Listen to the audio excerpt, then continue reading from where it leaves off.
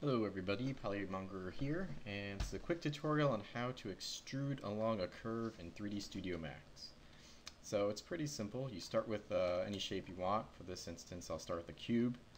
I'm just placing it right in the center of my world, zeroing everything out real fast, and uh, converting it over to a polygon.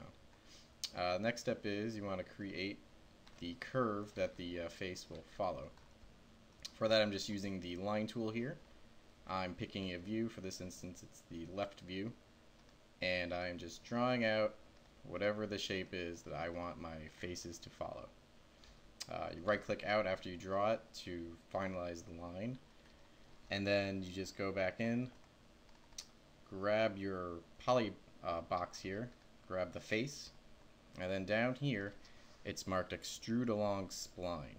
So if you click the settings here, um, there's a spot marked pick spline. So click that, click the file or uh, the, uh, the the curve that you want, and then you have the basic extrude on that function. Um, there's a lot of different settings you can play with. Um, the most often I use things like segments, which help smooth it out and follow the curve better, and taper amount, so you can kind of pinch it in towards as it gets towards the end. And those are both quite handy. And always remember to hit the OK checkbox, otherwise you will lose the work you just did. And that's all there is to it. Thanks for watching.